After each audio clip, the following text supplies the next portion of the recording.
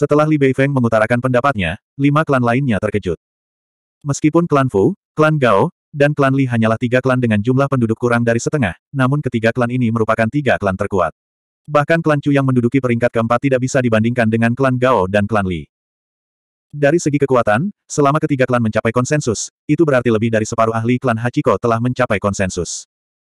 Artinya, setelah ketiga klan setuju untuk pergi ke galaksi roh, lima klan lainnya harus berpikir matang sebelum mengutarakan pendapatnya.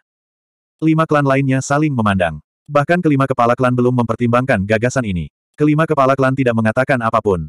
Fu Yang, Gao Yue Yang, dan Li Beifeng juga tidak mengatakan apa pun. Mereka hanya menunggu jawaban. Mereka bertiga tahu bahwa mereka tidak bisa menunggu lama. Kepala klan bukanlah orang yang suka menunda-nunda. Setuju atau tidak, akan segera ada jawabannya. Memang ketiganya tak perlu menunggu lama. Tak lama kemudian, salah satu dari mereka berbicara. Kepala klan Jin penusuk surga, Li Tianji, berkata dengan suara yang dalam, saya setuju untuk pergi ke galaksi roh. Saya juga ingin pergi ke spirit galaksi untuk melihatnya. Mendengar kata-kata Li Tianji, orang-orang lain di aula pertemuan kembali terkejut. Jika klan Li setuju untuk pergi, itu berarti lebih dari separuh kepala klan telah setuju. Dalam proses perang, jika setengah dari klan setuju, itu sudah cukup untuk memutuskan tindakan yang akan diambil. Bagaimanapun, situasinya mendesak dan mereka tidak membutuhkan mayoritas. Empat klan lainnya tidak memaksa. Mereka tahu bahwa situasinya sudah diatur. Mereka mungkin sebaiknya menyetujuinya sesegera mungkin. Oleh karena itu, klan Liu dan Xiang segera menyetujuinya. Setelah enam klan mengutarakan pendapat mereka, klan Chu dan klan Kang secara alami tidak dapat mengajukan keberatan apa pun. Mereka hanya bisa setuju. Setelah kedelapan klan setuju, itu berarti Operasi akan segera dimulai. Apa yang harus kita lakukan? Kepala klan Liu, Liu Wan, bertanya. Orang yang mengajukan pertanyaan bukanlah semua orang, tetapi klan Fu yang memberikan saran. Fu yang tidak menjawab. Sebaliknya, dia menoleh untuk melihat putrinya. Ketika Fu Yu memberikan saran ini, dia sudah memikirkan rencana detailnya. Dia segera berkata, pertama, kumpulkan pasukan dan suruh orang-orang di medan perang untuk kembali secepat mungkin. Kedua, Para ahli alam Raja Surgawi akan memimpin dan menuju ke berbagai bintang di galaksi roh untuk menemukan lebih banyak bintang kehidupan secepat mungkin. Ketiga, kecuali ada Raja Surgawi di bintang itu, jangan bergerak. Segera kembali dan pindahkan tim alam surgawi. Biarkan tim alam surgawi menyerang. Keempat, kita tidak bisa membuat pilihan yang sama seperti para astral. Jika bintang kehidupan tidak terlalu penting, setelah menghancurkannya dan menghadapi musuh, mereka akan segera pergi. Jika bintang kehidupan jelas berbeda, mereka harus bertarung dengan tim Spirit Star River yang datang untuk mendukung mereka. Namun meskipun kalian bertengkar, jangan terlalu terjebak di dalamnya. Mundur ketika ada krisis yang serius. Kelima, seluruh tim akan diubah menjadi 16 orang. Ketujuh, setengah dari ahli alam Raja Surgawi dari klan Hachiko akan dimobilisasi, sementara sepertiga dari ahli alam Raja Surgawi dari tentara sekutu akan dimobilisasi. Fuyu melanjutkan, tapi suaranya terhenti. Kedelapan, selain Master Abadi dan Permaisuri Abadi, biarkan semua orang dari Sengoku dan Ras Bintang menyebar pergi ke galaksi roh untuk bertarung. Begitu dia mengatakan ini, semua orang menarik napas dalam-dalam. Ekspresi mereka sangat serius.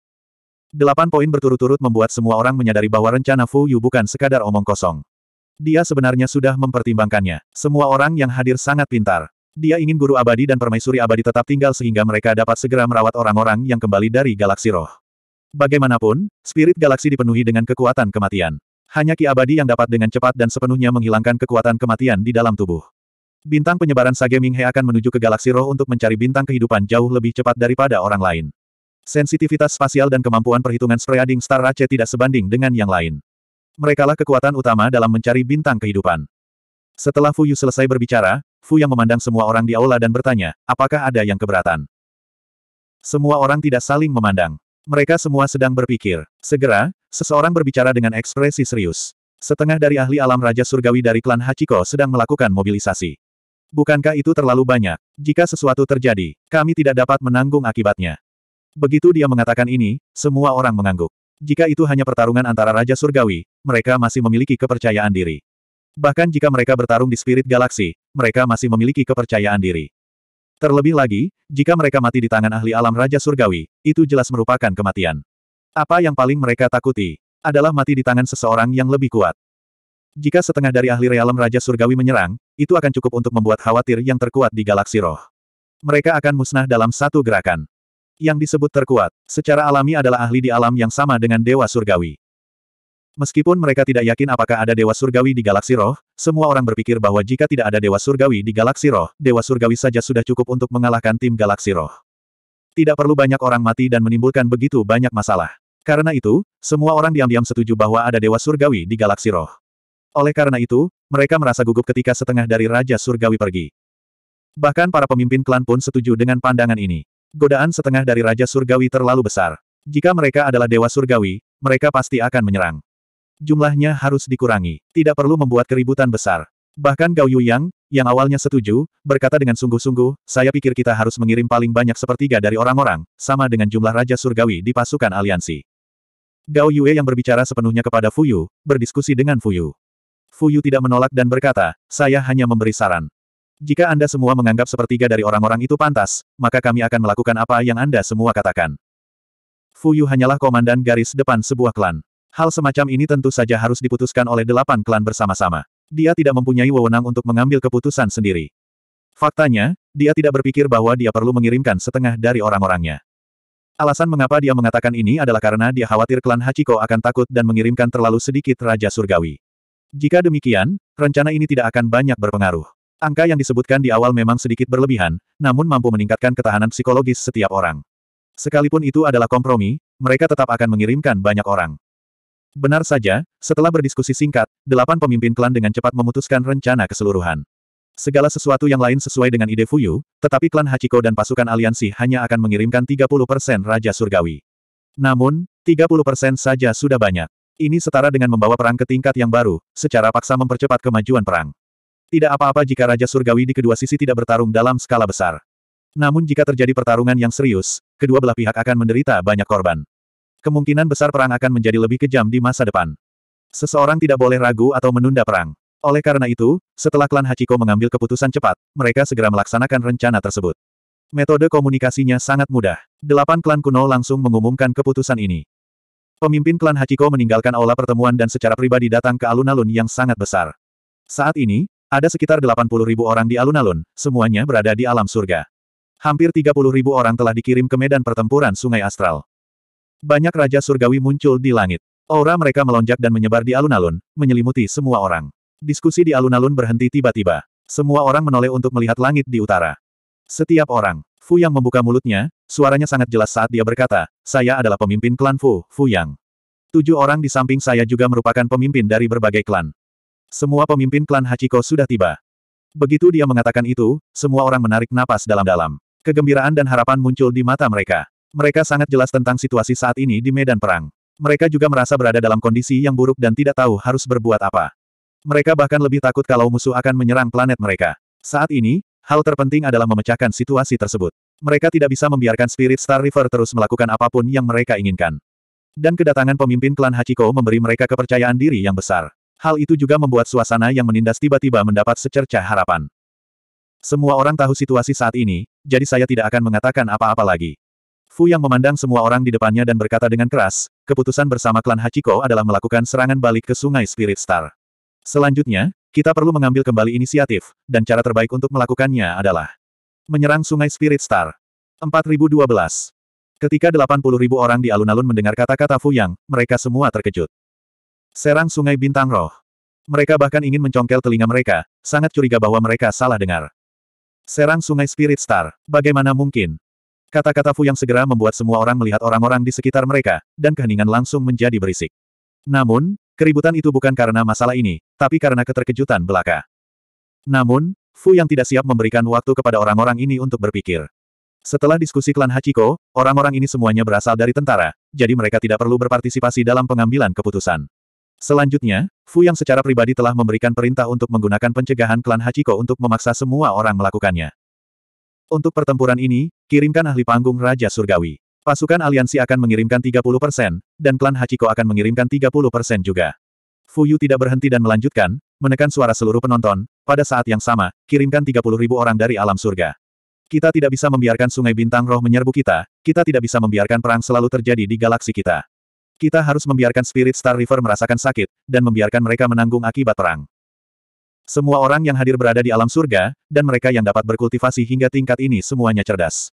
Mereka segera menyadari bahwa ini adalah metode mengepung Wei untuk menyelamatkan Zhao. Namun, metode ini terlalu mengejutkan, dan orang-orang tidak dapat menerimanya untuk sesaat.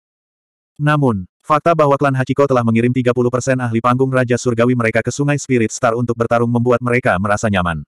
Setidaknya, Hal itu membuat mereka merasa seimbang secara mental, dan membuat mereka tahu bahwa klan Hachiko tidak menggunakannya sebagai bidak catur belaka, tetapi berbagi suka dan duka. Sebagai hasilnya, tidak hanya para ahli alam surga yang merasakan harapan, bahkan para ahli panggung Raja Surgawi di pasukan aliansi pun merasa jauh lebih nyaman. Klan Hachiko adalah pengendali mutlak pasukan aliansi. Meski tidak berada di level 4 balapan besar, ia masih memiliki kekuatan yang cukup untuk berbicara. Kali ini, delapan klan menguasai delapan kubu. Setiap klan memiliki infiltrasinya sendiri ke Sungai Spirit Star. Secara umum, hal-hal ini tidak saling berhubungan, dan setelah itu, banyak di antaranya yang akan terungkap. Tentu saja, sambil mengungkap infiltrasi aslinya, itu akan meningkatkan infiltrasi Spirit Galaxy. Ini adalah hal yang luar biasa bagi klan Hachiko dan Spirit Galaxy. Klan Hachiko bertindak sangat cepat, dan tak lama kemudian, setiap klan telah memilih hampir 3.000 prajurit alam surgawi. Ada hampir 1.000 penggarap realem Raja Surgawi di pasukan aliansi. Meskipun rasio 100 ribu penggarap alam surga dan 1000 penggarap alam Raja Surgawi adalah 100 banding satu, dan sepertinya akan ada satu penggarap alam Raja Surgawi di setiap 100 penggarap alam surga, namun rasionya sebenarnya sangat berbeda. Ini karena umur seorang kultivator alam Raja Surgawi jauh lebih lama dibandingkan dengan seorang kultivator alam surgawi. Namun, di klan Hachiko, rasio orang-orang dari alam surgawi dan alam Raja Surgawi memang jauh lebih tinggi dibandingkan ras lain. Bagaimanapun, Klan Hachiko adalah ras dengan atribut ekstrim, jadi wajar saja jika rasio orang dengan talenta tinggi jauh lebih tinggi. Klan Hachiko memiliki total 300 penggarap alam Raja Surgawi. Di antara mereka, klan Fu memiliki paling banyak, dengan lebih dari 60 di antaranya. Klan Kang memiliki paling sedikit, dengan lebih dari 20 di antaranya. Karena itu, perbedaan kekuatan antara kedua klan sangat besar. Klan Hachiko dan pasukan aliansi galaksi telah mengirimkan 30% penggarap alam Raja Surgawi mereka, yang berjumlah sekitar 400 orang. Sementara itu, mereka telah mengirimkan 30 ribu pembudidaya alam surgawi. Ini adalah angka yang sangat menakutkan. Selain klan Hachiko, tidak ada kekuatan lain yang berani memikirkan kekuatan seperti itu. Para pengambil keputusan sekali lagi kembali ke ruang pertemuan. Karena masalah ini sangat penting, delapan komandan garis depan semuanya telah tiba secara pribadi di kamp masing-masing untuk membuat pengaturan. Tidak terkecuali Fu Yu. Dia secara pribadi tiba di kamp klan Fu dan memberi perintah untuk memilih pembudidaya alam Raja Surgawi. Aliansi tripartit berada di samping kamp Fu Klan. Meski dikatakan independen, namun sebenarnya dikuasai oleh klan Hachiko. Orang yang memiliki kendali paling langsung atas aliansi tripartit adalah klan Fu. Oleh karena itu, setelah memberi perintah kepada kubu klan Fu, Fu Yu langsung tiba di depan aliansi tripartit. Komandan Fu, guru abadi menangkupkan tangannya dan menyapanya dengan rasa hormat seorang komandan. Dia tidak meremehkan Fu Yu hanya karena dia adalah seorang kultivator alam surgawi. Dia berkata dengan serius, apa yang harus kita lakukan? Selain Master Abadi dan Permaisuri Abadi, semua orang dari klan Sengoku dan Yansing akan menuju ke Galaksi Roh untuk bertarung, kata Fu Yu secara langsung. Ini termasuk utusan suci Yansing. Misi utamamu adalah mencari planet yang memiliki kehidupan. Semua orang akan menuju ke sana. Tuan Abadi, Permaisuri Abadi, dan utusan suci Yansing semuanya tersentak. Guru Abadi segera berkata, bukankah 30 persen? Guru Abadi tidak takut mati. Dia takut jika semua orang pergi sekaligus, dia tidak akan punya cadangan jika terjadi sesuatu. Jika klan roh benar-benar memiliki dewa surgawi, dan jika dewa surgawi itu benar-benar menyerang, Sengoku akan dihancurkan. Utusan suci Yan Ming dia memiliki kekhawatiran yang sama. Dia segera berkata, Komandan Fu, bukankah rasio ini salah? Anda setidaknya harus meninggalkan beberapa orang untuk kami, bukan? Ekspresi permaisuri abadi juga sangat serius. Ini karena kata-kata Fuyu benar-benar dapat menentukan berapa banyak orang yang akan dikirim oleh kedua klan. Jika Fuyu bersikeras, mereka tidak akan bisa berbuat apa-apa. Namun, Fuyu tidak memaksa. Maka kamu harus mengirimkan 30% juga. Kata Fuyu. Tetapi Tuan Abadi harus pergi berperang. Permaisuri Abadi dan orang-orang dari negara-negara berperang yang akan tinggal di sini harus bersiap untuk mengeluarkan energi kematian bagi mereka yang kembali dari galaksi roh. Baiklah. Guru Abadi segera menyetujuinya. Aku akan pergi. Master Abadi segera mengirim orang ke Spirit Galaksi. Perintah ini terlalu mendadak. Meski begitu, tidak butuh waktu lama untuk menyeleksi orang. Fu Yu tidak segera meninggalkan aliansi tripartit. Tidak banyak orang di aliansi tripartit. Tatapan Fuyu dengan cepat tertuju pada satu orang. Itu bukan orang lain. Itu adalah istri Luan, Tuan Muda Semoku, Yao. Fuyu bisa dengan jelas melihat keinginan di mata Yao. Dia membuka mulutnya dan berkata pada Yao, kamu ingin pergi. Yao sedikit terkejut. Dia tidak menyangka Fuyu akan berbicara dengannya sendirian dalam situasi seperti ini. Namun, dia langsung berkata, ya, saya ingin pergi. Fuyu mengerutkan alisnya. Sebenarnya dia tidak ingin Yao pergi. Namun, itu bukan karena Yao adalah wanita Luan. Itu karena dia menghargai bakat dan masa depan Yao. Dia tidak ingin dia berada dalam bahaya terlalu dini. Hati-hati, kata Fu Yu. Prioritaskan pertahanan diri. Jangan mencoba pamer. Baik Nyonya, Yao mengakui. Tidak ada yang terkejut ketika Yao memanggil Fu Yu sebagai Nyonya di depan semua orang. Bagaimanapun, hubungan keduanya selalu seperti itu. Namun, semua orang terkejut karena Fu Yu sebenarnya mengkhawatirkan keselamatan Yao. Semua orang mengira Fu Yu ingin ketujuh wanita klan Lu menghilang. Tidak ada yang mengira dia akan mengucapkan kata-kata yang memprihatinkan seperti itu. Beauty Yang dan Yang Mu juga hadir. Namun, Fu Yu tidak mengatakan apa pun kepada kedua wanita itu. Mengenai apakah kedua wanita itu akan pergi ke medan perang, dia tidak peduli. Fu Yu meninggalkan aliansi tripartit dan kembali ke posisi komandan. Dengan sangat cepat, semua ahli realem Raja Surgawi dari Fu klan berdiri di depan Fu Yu. Dengan begitu banyak ahli realem Raja Surgawi, tekanan yang mereka berikan sangatlah kuat. Adapun para ahli alam surga, mereka tidak akan langsung pergi. Awalnya, mereka hanya akan mengirim kelompok kecil untuk menghancurkan planet yang telah disusupi oleh klan Fu. Karena semakin banyak planet yang ditemukan oleh ahli alam Raja Surgawi, semakin banyak ahli alam surga yang dikirim ke medan perang. Ingat, kata Fu Yu, fokus saja dalam mencari planet. Kecuali jika kamu bertemu dengan ahli alam Raja Surgawi, kamu tidak diperbolehkan menyerang ahli alam bintang atau ahli alam surga. Saat dia mengatakan itu, para ahli realem Raja Surgawi di depan Fu Yu jelas tercengang. Tidak diperbolehkan menyerang ahli alam bintang atau ahli alam surga. Memang benar, sudah menjadi aturan umum bagi para ahli alam Raja Surgawi untuk tidak membunuh ahli alam surga. Namun, ini adalah perang. Ada alasan untuk tidak menghancurkan planet. Ahli alam Raja Surgawi dapat menghancurkan planet. Namun, ini juga berarti bahwa mereka harus menghancurkan informasi yang telah mereka infiltrasi. Tidak perlu melakukan itu. Namun, menghancurkan kota dengan seenaknya tidak akan berdampak banyak. Mengapa mereka tidak diperbolehkan melakukan hal itu? Kerumunan itu tidak mengerti. Namun, ahli alam Raja Surgawi dari klan Fu tidak mengajukan pertanyaan apa pun. Sebaliknya, mereka langsung menerima pesanan tersebut. Iya, Tuan Muda. Bahkan ahli alam Raja Surgawi dari klan Fu tidak mengajukan pertanyaan apa pun, apalagi yang lainnya. Bahkan guru abadi dan utusan Sage Yansing tidak mengajukan pertanyaan apa pun. Hak apa yang dimiliki orang lain untuk menerima pesanan tersebut? Dengan sangat cepat, para ahli realem Raja Surgawi dari delapan kubu telah berkumpul. Semua ahli alam surga yang hadir melihat ketiga ratus ahli alam Raja Surgawi dan sangat terkejut. Delapan komandan garis depan klan Hachiko berdiri di garis depan dan pada saat yang sama berkata, minggir. Iya. Tiga ratus ahli realem Raja Surgawi berteriak serempak. Suara mereka terdengar di alam semesta yang luas. Mereka segera menggunakan teleportasi spasial dan menghilang dari planet ini. 4013 Galaksi Roh, Pasukan Sekutu Galaksi. Pertempuran telah berlangsung lebih dari satu jam, namun kenyataannya, hanya sebagian kecil dari pasukan sekutu yang dimobilisasi. Adapun tim Ningji dan Jiang Xiao yang beranggotakan tujuh orang, selain pertempuran awal dengan musuh, semua misi selanjutnya telah berubah menjadi kehancuran.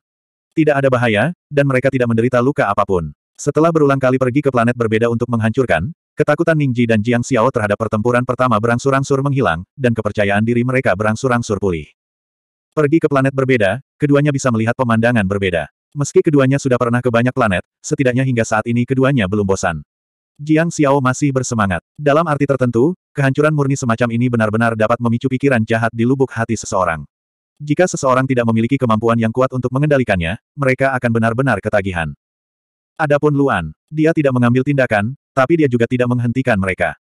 Selain menyelamatkan nyawa Jiang Xiao di pertempuran pertama, dia tidak melakukan apa pun.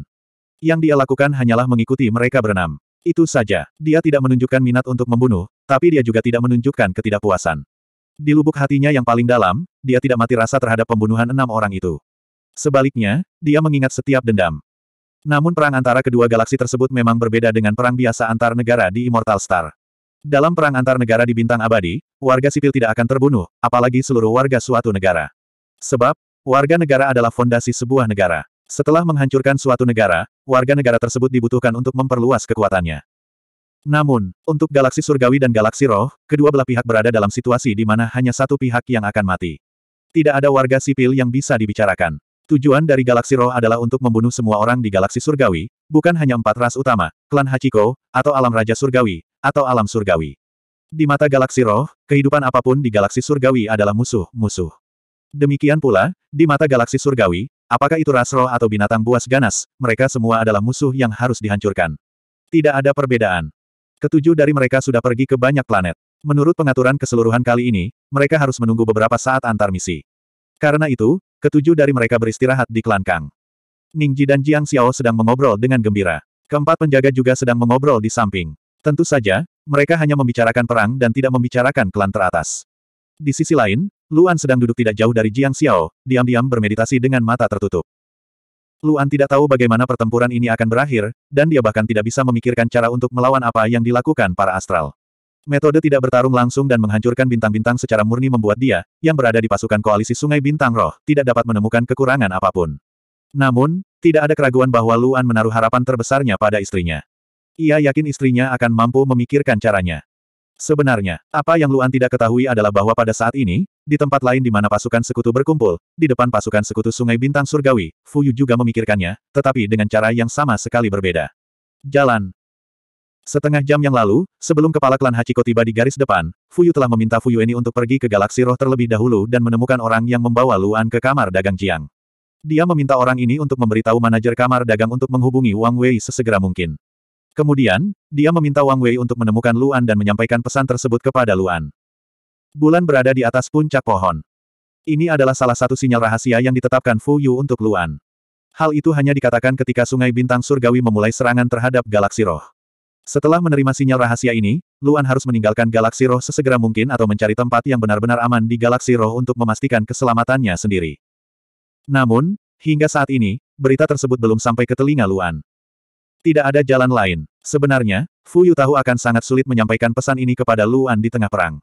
Kemungkinannya bahkan mendekati nol. Sangat sulit bagi manajer kamar dagang Jiang untuk menemukan Wang Wei. Wang Wei masih berada di planet Jiang Zheng, tapi Wang Wei mungkin sedang menjalankan misi.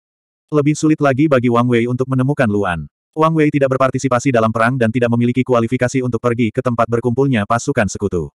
Namun, Fu Yu tetap memilih melakukan ini karena ingin bertaruh. Fu Yu mengkhawatirkan Luan, tapi dia tidak punya pilihan selain membiarkan sungai bintang surgawi menyerang galaksi roh.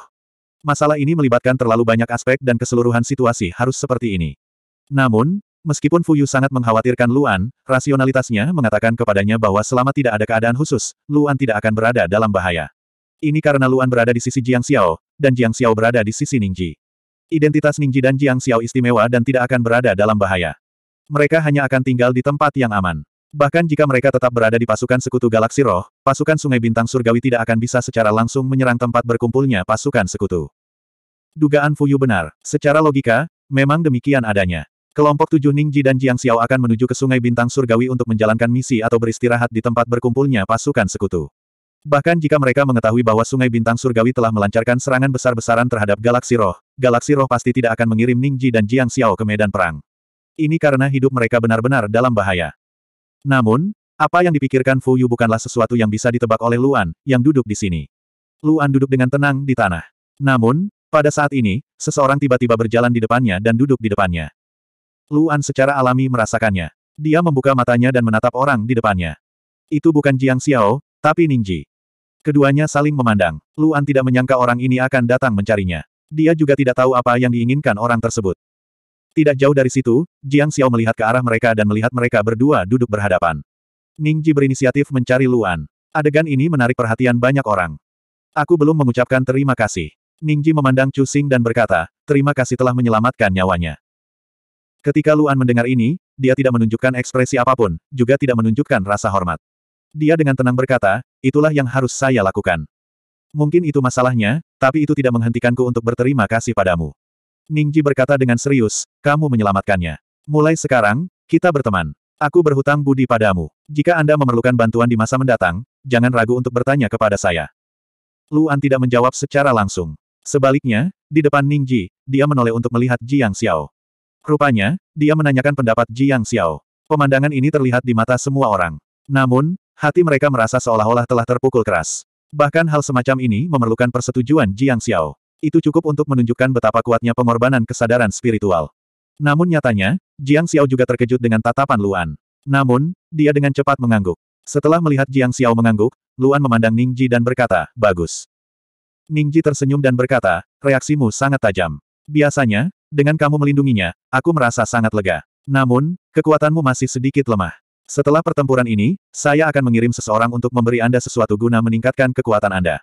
Sehingga Anda dapat meningkatkan kekuatan Anda sebanyak mungkin. Dengan cara ini, Anda akan bisa melindunginya dengan lebih baik. Bagus, Luan tidak menolak. Dia sekali lagi berkata, terima kasih banyak, Tuan Mudaning. Mendengar orang lain berterima kasih padanya, senyum Ningji semakin lebar. Namun, saat dia hendak mengatakan sesuatu, seseorang tiba-tiba berjalan ke arah mereka berdua dan berkata kepada Ningji, Tuan Muda Ning, bolehkah saya berbicara dengan Anda? Orang yang datang adalah salah satu orang yang bertugas mengirim klan Jiang. Ningji mengira itu adalah misi lain dan segera berdiri. Tujuh orang yang bertindak cepat berkumpul. Namun, mereka tidak berada di klan Jiang. Sebaliknya, mereka berada di samping. Terlebih lagi, petugas operator menggunakan kekuatannya untuk menyelimuti mereka berdelapan sehingga tidak ada suara yang terdengar. Tuan Muda Ning, Nona Sulung, kepala klan ingin kalian berdua berhenti di sini. Jangan pergi ke Sungai Bintang Surgawi untuk menjalankan misi, kata orang itu dengan cepat. Ketika kata-kata ini keluar, Ningji dan Jiang Xiao jelas tercengang.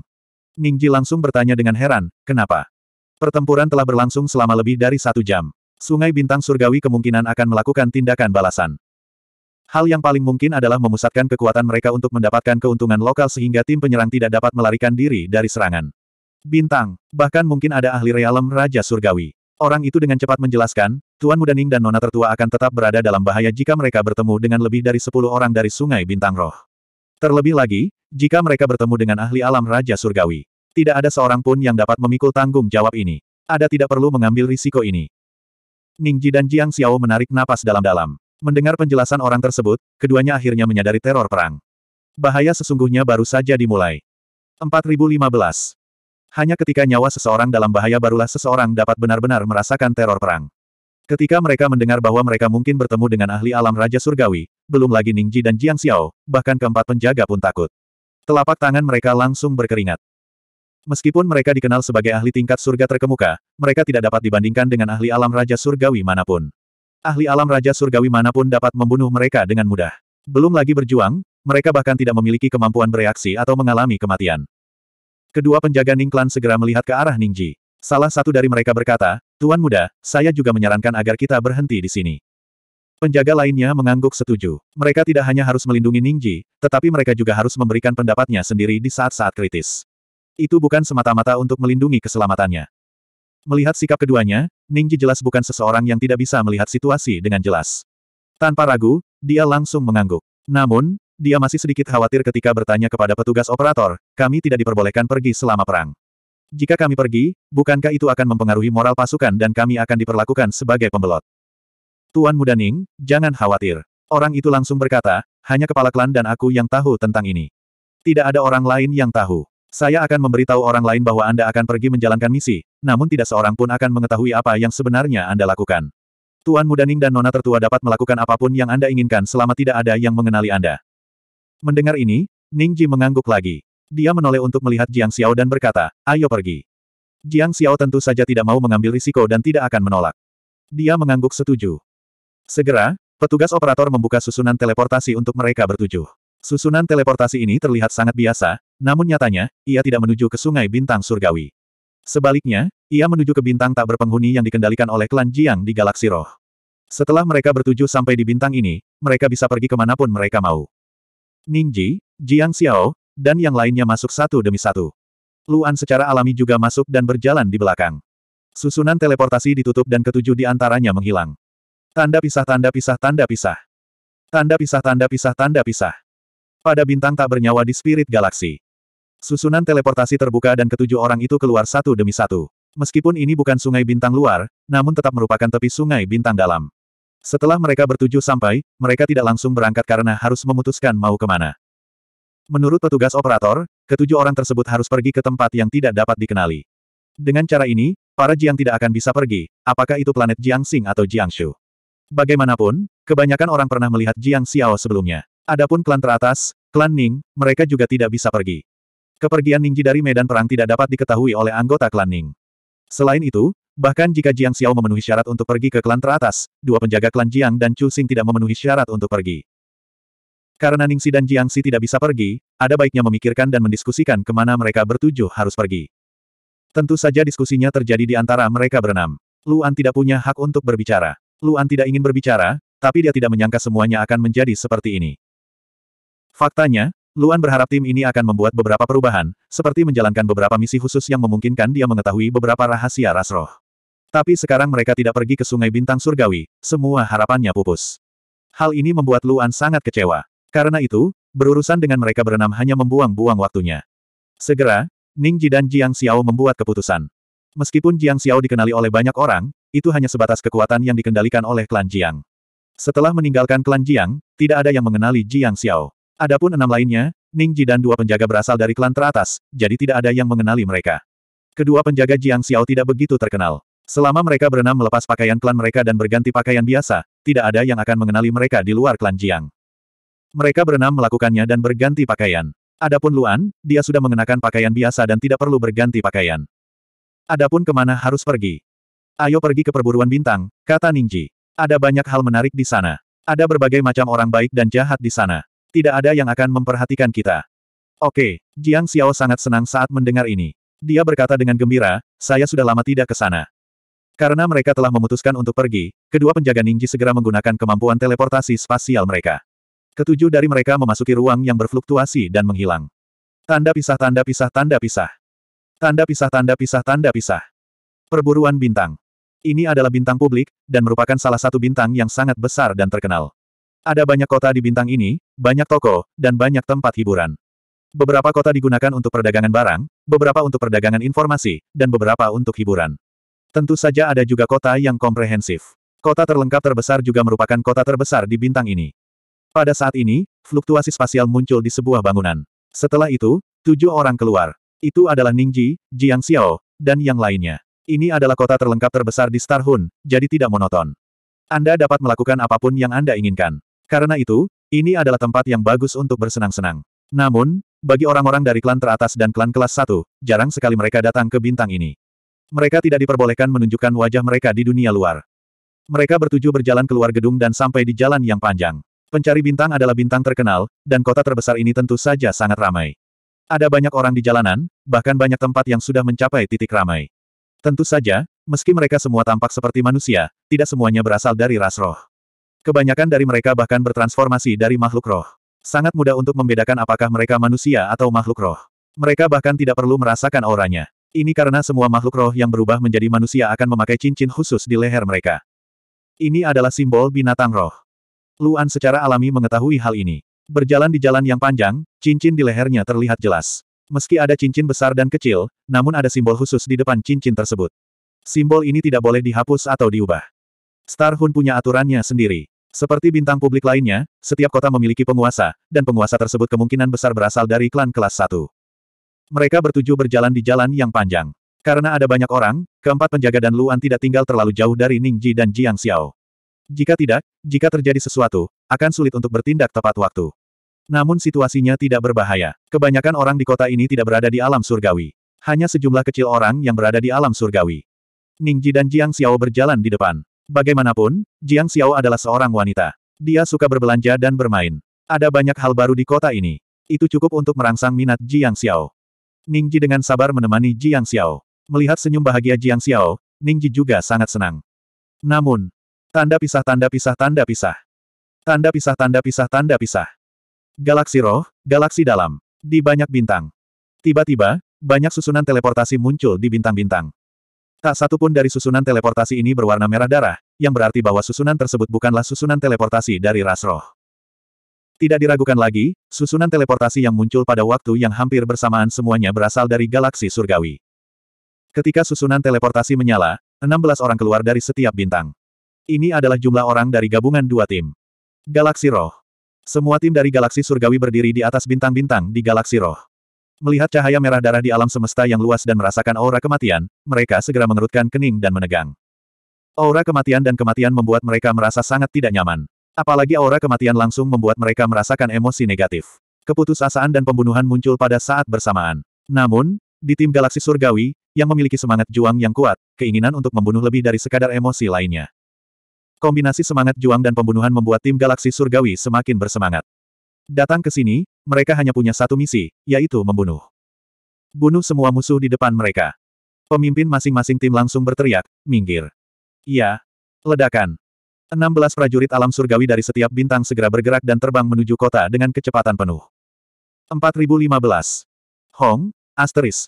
Di langit, 16 sosok terbang melewatinya dengan kecepatan tinggi. Ini adalah tim yang dibentuk oleh manusia biasa. Setiap orang melepaskan energi untuk menutupi tubuh mereka. Tujuan mereka adalah untuk mengusir energi kematian yang ada di mana-mana di galaksi roh. Meskipun itu akan menghabiskan sejumlah energi, itu lebih baik daripada energi kematian menyerang tubuh mereka. 16 sosok itu terbang di langit, dan kota yang awalnya berada di tepi pandangan mereka dengan cepat diperbesar. Segera, semuanya ada di mata 16 orang. Ini hanyalah kota biasa, dan orang-orang di dalamnya juga biasa-biasa saja. Namun, Jika disebut biasa saja, itu berarti kota itu bukanlah kota yang tidak berharga. Jika tidak, klan Hachiko juga akan menyusup ke sini. Bintang ini seperti bintang yang hanya memiliki satu penggarap alam surgawi. Kota ini setara dengan ibu kota bintang di galaksi surgawi. Tanpa ragu, ini adalah pertama kalinya 16 orang datang ke Spirit Galaxy. Tidak diragukan lagi, ini adalah pertama kalinya mereka melihat kota Rasroh. Mereka akhirnya sampai di sungai bintang musuh, wilayah musuh, dan kota musuh. Rasroh mengetahui semua tentang orang-orang jahat di galaksi surgawi. Bagaimana mungkin mereka tidak marah? Semua orang di sini adalah musuh. Semua orang di sini pantas mati. Ke-16 orang itu bergegas ke kota. Tidak ada penggarap alam surgawi di kota. Orang Rasroh terkuat hanyalah seorang guru surgawi tingkat delapan. Sekalipun kota itu penuh dengan orang-orang Rasroh dan memiliki energi kematian, perbedaan antara seorang kultivator alam surgawi dan seorang kultivator alam normal bukanlah sesuatu yang bisa ditebus. Mereka bahkan tidak memiliki kualifikasi untuk memperhatikan kedatangan 16 orang tersebut, apalagi bertahan melawan mereka. 16 orang di langit tidak akan menunjukkan belas kasihan kepada siapa pun di kota. Jadi, membunuh. Membunuh. Ke-16 orang itu meraung seolah ingin melampiaskan semua rasa sakit yang tertahan di hati mereka. Di saat yang sama, 16 orang mengerahkan seluruh energi di tubuh mereka dan menyerang tanah. Asteris Hong panjang-panjang. Energi mengerikan menelan seluruh kota dalam sekejap. Cahaya yang menyilaukan segera meledak di bintang tersebut. Bahkan bagian alam semesta yang dekat dengan bintang pun menyala. Di bawah serangan 16 penggarap alam surgawi, kota itu menghilang dan berubah menjadi reruntuhan tanpa dasar. Ratusan ribu nyawa di kota semuanya tewas. Ah! Menghancurkan kota dengan tangan mereka sendiri dan membunuh kota orang-orang Rasroh membuat 16 orang itu mengaum ke langit. Dalam dua pertempuran sebelumnya, rekan satu tim mereka tewas di tangan pasukan Spirit Galaxy. Mereka bahkan tidak memiliki kualifikasi untuk melawan Spirit Rache. Belum lagi Rasroh, bahkan membunuh binatang buas pun sangatlah sulit. Sekarang mereka mampu membunuh ratusan ribu orang Spirit Rache, mereka sangat bahagia. Akhirnya, dalam peperangan antara dua galaksi, mereka akhirnya bisa merasakan perasaan agung. Akhirnya, mereka tidak lagi dibantai secara sepihak. Mereka bisa membunuh musuhnya dengan tangan mereka sendiri. Membunuh. Terus membunuh. Kapten itu meraung. Tentu saja, orang-orang ini belum cukup membunuh. Mereka segera bergerak cepat di planet ini, mencari kota lain. Tidak peduli apa, mereka harus membunuh lebih banyak orang. Hal yang sama terjadi pada semua tim yang menyerang Sungai Spirit Star, terutama pasukan aliansi. Disiplin tentara sekutu secara alami jauh lebih buruk daripada empat ras utama dan klan Hachiko. Karena itulah klan Hachiko paling membatasi mereka. Perintah klan Hachiko adalah mundur segera setelah mereka menghadapi bala bantuan dari galaksi roh. Bahkan jika mereka tidak menemukan bala bantuan apa pun, mereka harus pergi setelah tetap berada di bintang selama waktu yang diperlukan untuk membakar dupa. Ini bukan hanya untuk mencegah tim-tim ini menghadapi bala bantuan dari Spirit Galaxy, tetapi juga karena ketahanan tim-tim ini terhadap kekuatan kematian terlalu lemah. Batu bulan merah gunung berdarah bisa mengendalikan banyak orang, belum lagi kekuatan kematian yang padat di galaksi roh. Kemungkinan besar orang-orang ini akan terkena dampaknya tanpa menyadarinya. Mereka bahkan mungkin dikendalikan untuk menjadi gila dan saling membunuh. Jika itu terjadi, bahkan pasukan aliansi galaksi roh tidak akan mampu menanggung akibatnya. Sedangkan untuk tim klan Hachiko, Sengoku, dan klan Hachiko, para pengambil keputusan klan Hachiko tidak khawatir. Mereka selalu terlatih dengan baik. Meskipun klan Sengoku dan Yansing berada dalam tahanan rumah selama bertahun-tahun, mereka percaya bahwa kedua klan ini bukanlah kekuatan lemah yang menunggu kematian.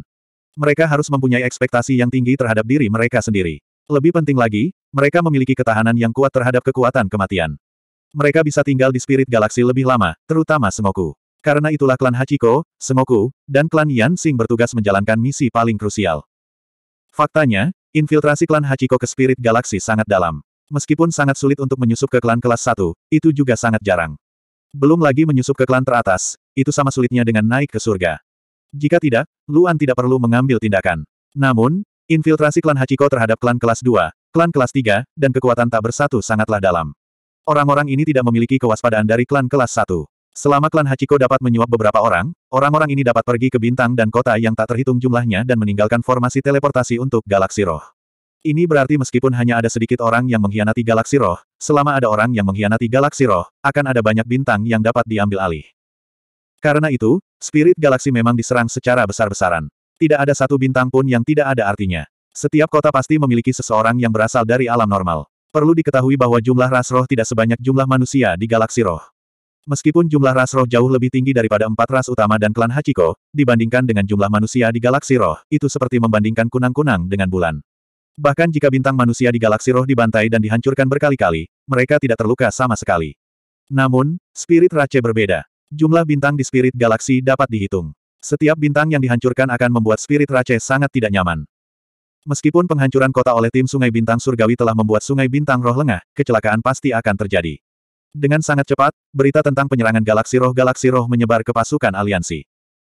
Ketika para petinggi dari berbagai klan kelas satu menerima berita ini, mereka semua sangat terkejut. Ini karena tindakan pasukan aliansi Spirit Galaksi benar-benar di luar dugaan mereka. Mereka benar-benar tidak menyangka klan Hachiko begitu berani menyerang Spirit Galaksi. Namun, mereka tidak berhak memutuskan apa yang harus dilakukan. Tidak peduli betapa cemasnya mereka, mereka harus mendengarkan pengaturan dari petinggi, yaitu pengaturan dari klan tingkat atas. Namun, orang-orang dari klan kelas satu tidak akan berbuat apa-apa dan hanya menunggu perintah. Mereka juga dengan panik memikirkan apa yang harus dilakukan. Jika mereka menarik pasukannya dari Sungai Bintang Surgawi, mereka akan jatuh ke dalam perangkap musuh. Musuh juga akan menarik pasukannya dari Sungai Spirit Star. Dalam hal ini, tidak ada artinya menyerang Sungai Bintang Surgawi. Mereka hanya akan berakhir dalam perjuangan yang sia-sia. Apa yang harus mereka lakukan? Bagaimana mereka bisa menghentikan galaksi roh untuk mendapatkan apa yang mereka inginkan? Tanda pisah tanda pisah tanda pisah. Tanda pisah tanda pisah tanda pisah. Saat ini, di wilayah inti galaksi dalam, di sebuah bintang besar. Hanya ada satu bangunan di bintang itu, dan di gedung inilah para petinggi dari berbagai klan tingkat atas berkumpul. Selain orang-orang dari berbagai klan tingkat atas, ada orang lain yang duduk di istana besar. Itu tidak lain adalah Lihan. Beberapa saat yang lalu, semua orang di sini menerima berita bahwa Spirit Galaksi sedang menyerang Spirit Galaksi. Sejujurnya, bahkan bagi orang-orang di sini, keputusan klan Hachiko sangat mengejutkan. Namun, tidak seperti klan kelas 1, bukan berarti mereka tidak memikirkan kemungkinan ini sama sekali. Hanya saja kemungkinan ini telah diabaikan. Mereka tidak menyangka klan Hachiko akan mengambil pilihan seperti itu. Hal yang sama juga terjadi pada Lihan. Ia juga tidak menyangka klan Hachiko akan memilih jalan ini karena sangat berbahaya. Bahkan lebih berbahaya daripada manfaatnya. Setelah menerima berita tersebut, Lihan, yang berada di alam surga, berbicara terlebih dahulu. Dia berkata kepada semua orang dengan tegas, kami semua mengira klan Hachiko tidak akan melakukan ini karena akan sangat berbahaya bagi pasukan aliansi Galaksi Roh. Kini saatnya kita melepaskan semua bahaya tersebut. Galaksi Roh berbeda dengan Galaksi Roh. Ini bukanlah tempat di mana seseorang bisa datang dan pergi sesuka hati. Kita harus menyadarkan mereka secara mendalam akan hal ini sehingga di pertempuran mendatang, mereka bisa menghilangkan pemikiran tersebut sepenuhnya. Lihan berkata, sebaliknya, jika kita tidak membuat mereka merasakan sakit yang tak tertahankan kali ini, mereka akan sering menyerang spirit galaksi di masa depan dan menjadi normal. 4016. Ini adalah pertama kalinya pasukan koalisi galaksi langit menginvasi galaksi roh. Dalam sebelas perang terakhir, meskipun galaksi langit telah menyerang galaksi roh, namun tidak pernah secepat ini. Bagaimanapun, situasi saat ini masih dalam tahap awal perang antara kedua galaksi. Hal ini terutama terjadi pada perang yang dapat berlangsung selama beberapa dekade, abad, atau bahkan lebih lama. Menyerang sepagi ini terlalu cepat. Hal ini juga membuat klan teratas di Galaksi Roh menyadari bahwa pasukan koalisi Galaksi Langit di bawah kendali klan Hachiko jauh lebih tidak terduga. Sangat berbeda dengan masa ketika empat klan besar berkuasa. Klan teratas bereaksi dan memberi perintah kepada pasukan koalisi Galaksi Roh dengan sangat cepat. Dengan sangat cepat, semua klan teratas menerima perintah dari atas. Isi perintahnya bukanlah menarik pasukan ke pasukan koalisi Galaksi Langit, melainkan mempertahankan serangan sebelumnya. Pada saat yang sama, mereka akan mengirimkan lebih banyak pasukan ke pasukan koalisi Galaksi Roh untuk melenyapkan dan melenyapkan pasukan koalisi Galaksi Langit. Karena partai lain memiliki 16 orang, pasukan koalisi Spirit Galaksi akan bertambah menjadi 20 orang. Selain itu, mereka harus membunuh semua penjajah di Sungai Bintang Surgawi dengan segala cara. Bahkan jika itu adalah pertukaran satu lawan satu, mereka harus memastikan bahwa tidak ada seorang pun dari pasukan koalisi Langit Galaksi yang dapat melarikan diri. Namun, pemimpin klan Jiang, Jiang Huai, sangat cemas. Ini bukan karena perang saat ini, tapi karena Ningji dan Jiang Xiao ada di luar. Untuk memastikan keselamatan Ningji dan Jiang Xiao, Jiang Hui mengizinkan mereka meninggalkan medan perang dan bermain di Spirit Galaxy. Mereka bisa pergi ke mana pun mereka mau dan kembali setelah perang. Keputusan yang sebelumnya tampak baik-baik saja kini membuatnya merasa merinding. Bahkan tinjunya gemetar. Tentara Koalisi Galaksi Langit telah menginvasi Tentara Koalisi Galaksi Roh. Ini adalah sesuatu yang tidak pernah dia duga. Karena itu, putrinya dan Ningji di luar berada dalam bahaya besar. Namun, masalahnya adalah dia tidak tahu di mana putrinya dan Ningji berada. Dia tidak punya cara untuk memberitahu mereka agar kembali. Apa yang harus dia lakukan? Ketujuh dari mereka pergi bersama, dan tidak ada yang tinggal. Ini membuat kulit kepala Jiang Huai tergelitik. Dia bahkan berpikir apakah dia harus memberitahu klan Ning tentang hal ini sesegera mungkin sehingga mereka dapat bereaksi dengan cepat. Lagi pula, kekuatan klan teratas bukanlah sesuatu yang bisa dibandingkan dengan klan teratas. Tapi, jika klan Ning mengetahui hal ini, apakah klan teratas akan membiarkan Ning Ji dan Jiang Xiao meninggalkan medan perang dan Ning Ji berada dalam bahaya? Bisakah pernikahan tetap berhasil? Jiang Huai tidak tahu harus berbuat apa. Logikanya memberitahunya bahwa dia harus memberitahu keluarga Ning. Lagi pula, jika sesuatu terjadi pada Ningji, dia tidak akan mampu memikul tanggung jawab. Namun, secara emosional, Ningji dan Jiang Xiao belum tentu berada dalam masalah, belum lagi mereka memiliki empat penjaga yang kuat di sisi mereka. Selama mereka tidak bertemu dengan ahli panggung Raja Surgawi, melarikan diri tidak akan menjadi masalah. Apa yang harus dia lakukan? Kepala klan. Tiba-tiba, Sesosok tubuh terdengar di samping Jiang Huai, dan itu benar-benar mengejutkannya. Patriark bermartabat dari klan kelas 1, sampai-sampai tubuhnya bergetar, dan dia segera berbalik untuk melihat ke sampingnya. Semua tim sudah berkumpul. Kita tinggal menunggu perintah ketua klan. Orang ini berkata dengan cepat. Jiang Huai memandang orang ini dan mengepalkan tinjunya lebih erat. Dia berteriak, semuanya, keluar. Iya. Jiang Huai bukanlah satu-satunya yang memberi perintah. Seluruh pasukan konstelasi yang bersekutu menerima perintah dari berbagai klan kelas 1. Setidaknya sepertiga penduduk dimobilisasi. Di bintang lain, sepertiga makhluk roh dimobilisasi dan memulai serangan balik mereka di galaksi roh. Bintang-bintang yang ditinggali klan roh jauh lebih sedikit daripada semua bintang yang memiliki kehidupan di galaksi surgawi. Kali ini, operasinya tidak menargetkan makhluk roh, tapi bintang milik klan roh. Oleh karena itu, jumlah pasukan yang dimobilisasi sudah sangat banyak. Namun, bahkan Fuyu, yang berada di galaksi surgawi, tidak menyangka Luan akan menghadapi hal seperti itu. Tanda pisah tanda pisah tanda pisah. Tanda pisah tanda pisah tanda pisah. Pencari bintang. Di kota terbesar. Di sini masih sangat ramai, dan jalanan dipenuhi orang. Jiang Xiao sedang bermain-main dengan gembira, dan Ningji juga sangat senang berada di sisinya. Adapun empat penjaga dan Luan, mereka secara alami berada di sisinya untuk memastikan keselamatan mereka. Jelas sekali bahwa pencari bintang belum diserang oleh galaksi surgawi. Para pencari bintang cukup terkenal di galaksi roh, dan tentu saja, mereka tidak bisa lepas dari kecerdasan galaksi surgawi. Dan orang-orang yang disuap oleh klan Hachiko secara alami memberitahu mereka koordinat bintang ini yang dapat didatangi siapa pun, dan juga meninggalkan susunan teleportasi untuk klan Hachiko. Dengan kata lain, selama klan Hachiko mau, para pencari bintang bisa menjadi target kapan saja. Namun, bagi klan Hachiko, pencari bintang adalah bintang yang sangat penting, dan banyak informasi datang dari sana. Jika pencari bintang diserang, akan sangat sulit menemukan tempat lain yang mudah memperoleh informasi seperti pencari bintang. Meskipun ada banyak anggota klan roh di pencari bintang, bahkan jika pencari bintang dihancurkan, hal itu tidak akan mempengaruhi klan roh secara keseluruhan. Sebaliknya, hal itu akan mempengaruhi situasi galaksi surgawi secara keseluruhan. Karena itulah para pencari bintang seharusnya relatif aman. Dan ada banyak pembudidaya alam surgawi di pencari bintang, dan para pembudidaya alam surgawi ini tidak berpartisipasi dalam perang. Jika hanya tim yang terdiri dari 16 orang yang datang, mereka tidak akan mampu melawan pencari bintang. Tentu saja, kecuali jika seorang kultivator alam Raja Surgawi datang. Tetapi bagi kota yang telah mengetahui situasinya, seorang kultivator alam Raja Surgawi tidak perlu melakukan apa pun. Pada saat ini, setidaknya 60 bintang di spirit galaksi sedang diserang, dan jumlahnya terus meningkat pesat. Namun para pencari bintang masih tidak menemui masalah apa pun, dan tidak ada kabar yang sampai ke pencari bintang. Kecerdasan pencari bintang sangat cepat, dan mereka hanya perlu bertahan beberapa saat sebelum berita tentang galaksi roh diserang sampai di sini. Setelah Ningji dan Jiang Xiao menerima kabar tersebut, mereka dapat segera pergi.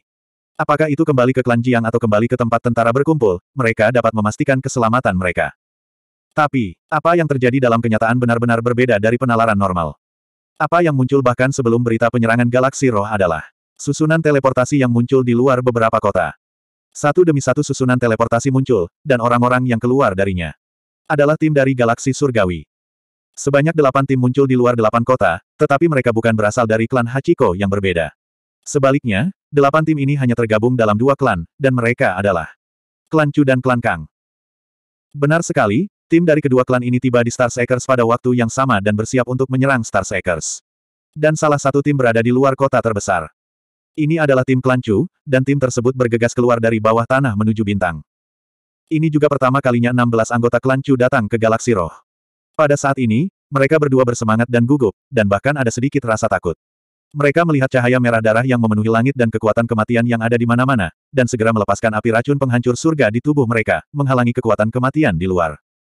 Ini bukan bintang biasa. Pemimpin tim, yang juga merupakan ketua tim, berkata kepada 15 orang dengan suara yang dalam, ingat, jangan menunjukkan belas kasihan, hancurkan kota ini secepat mungkin.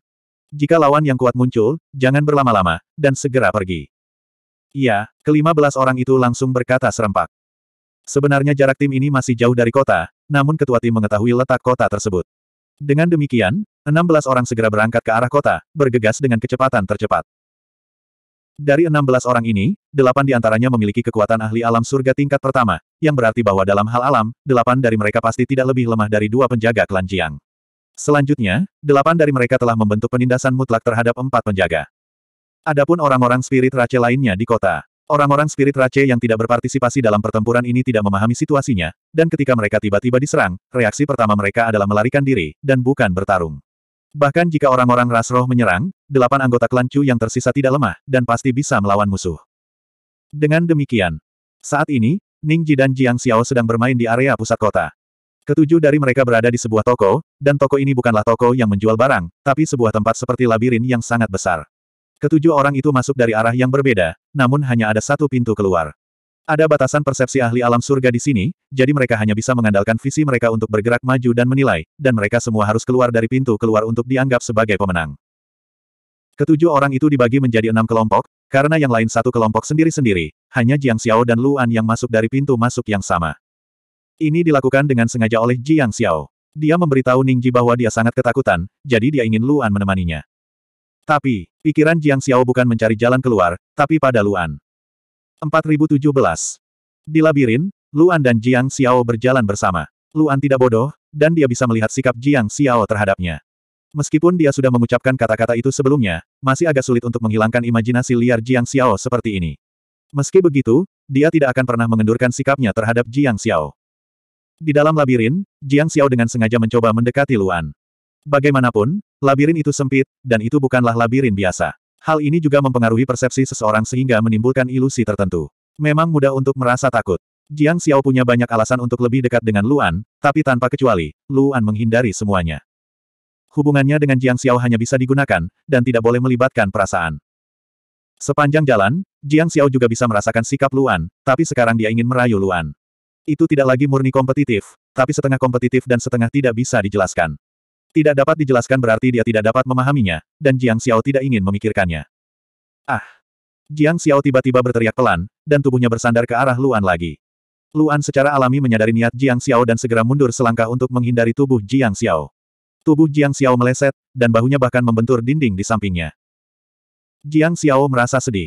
Di bawah cahaya redup labirin, Jiang Xiao memandang Luan. Pria ini bersedia menyelamatkannya dari bahaya kehancuran diri, tapi dia tidak mau peduli padanya di labirin ini.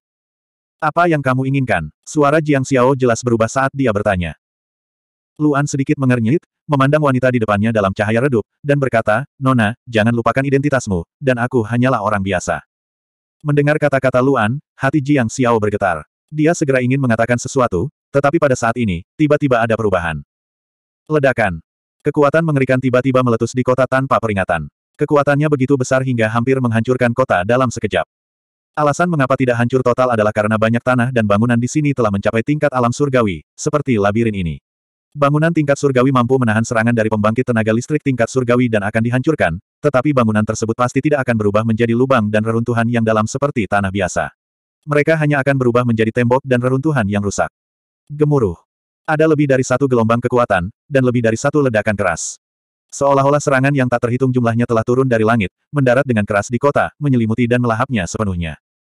Tanpa diragukan lagi, 16 anggota klan Chu lah yang melakukannya. Tidak peduli seberapa besar sebuah kota, kota itu tidak akan terlalu besar di hadapan pembangkit tenaga listrik alam surgawi, apalagi 16 pembangkit tenaga listrik alam surgawi. Mereka semua tidak perlu bergerak. Delapan celestial tier terkuat saja sudah cukup untuk menghancurkan kota sepenuhnya.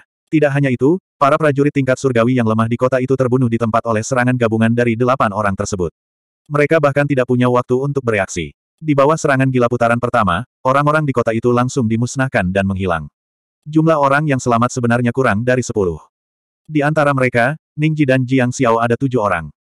Gemuruh. Ketujuh dari mereka masih berada di dalam labirin. Labirin itu adalah bangunan tingkat surgawi, dan berhasil memblokir serangan awal, menghilangkan sebagian besar kekuatannya.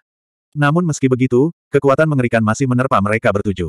Keempat pengawal itu masih baik-baik saja, tetapi bagi tiga pengawal lainnya, bahkan sisa kekuatan ini bukanlah sesuatu yang bisa mereka hadapi. Termasuk Luan, serangan ini terlalu mendadak bagi mereka bertiga. Mereka tidak bisa bereaksi sama sekali, yang berarti mereka lengah. Serangan tersebut langsung mengenai mereka bertiga, menyebabkan mereka langsung terluka, dan tidak ringan. Untungnya, labirin tingkat surgawi melindungi mereka bertiga. Kalau tidak, jika serangan ini mendarat langsung pada mereka bertiga, tidak ada satupun dari mereka yang selamat. Ledakan. Tanah tenggelam dan tenggelam, dan Luan memuntahkan seteguk darah. Jiang Xiao, yang berada tepat di sampingnya, juga sama. Keduanya segera dihempaskan ke reruntuhan bersama-sama. Saat keduanya dihancurkan, Luan akhirnya bereaksi. Dia tidak tahu apa yang terjadi sama sekali, tapi dia segera mengeluarkan dua pil obat dari cincinnya dan menelan salah satunya. Pada saat yang sama, dia menyebarkan persepsinya dan segera menemukan Jiang Xiao, yang berjarak tidak lebih dari lima kaki darinya. Dia menekan kidan darah yang melonjak di tubuhnya dengan seluruh kekuatannya, mengerahkan kekuatannya, bergegas ke depan Jiang Xiao, dan memasukkan pil obat lainnya ke dalam mulut Jiang Xiao. Makan itu, Luan berteriak dengan suara rendah. Jiang Xiao pusing karena serangan itu. Darah mengalir dari kepalanya, membasahi rambutnya. Terlebih lagi, dia benar-benar tercengang. Untuk sesaat, dia diliputi rasa takut dan kesakitan. Saat dia hendak berteriak, dia kembali ketakutan oleh teriakan pelan Luan. Jiang Xiao, yang benar-benar tercengang, hanya bisa secara naluriah mengikuti perintah Luan dan menelan pil obat di mulutnya. Melihat Jiang Xiao menelan pil obat, Luan segera memperluas persepsinya sejauh mungkin karena dia harus mencari tahu apa yang terjadi. Kenapa tiba-tiba meledak? Ini adalah pencari bintang. Klan teratas dan klan kelas satu tidak perlu pindah ke sini. Bahkan jika mereka ingin membunuh seseorang, mereka hanya akan membunuh sejumlah orang tertentu. Spirit Race pada dasarnya tidak melakukan pembantaian internal. Jika tidak, hal itu akan menimbulkan ketidakpuasan yang serius. Bahkan klan teratas dan klan kelas satu pun tidak akan melakukannya. Siapa lagi yang berani mengambil tindakan terhadap pencari bintang? Namun, dari kekuatan serangan ini, itu jelas bukan sesuatu yang bisa dia atasi. Itu juga bukan sesuatu yang bisa ditangani oleh Jiang Xiao. Penilaian Luan terhadap situasi selalu sangat akurat. Ini bukanlah pertarungan yang bisa diikuti oleh keduanya. Demi keselamatan mereka sendiri, dan juga demi keselamatan Jiang Xiao, keduanya harus meninggalkan medan perang sesegera mungkin. Oleh karena itu, Luan tidak membiarkan persepsinya menembus situasi di atas. Dia segera meraih pergelangan tangan Jiang Xiao dan berteriak, ikuti aku.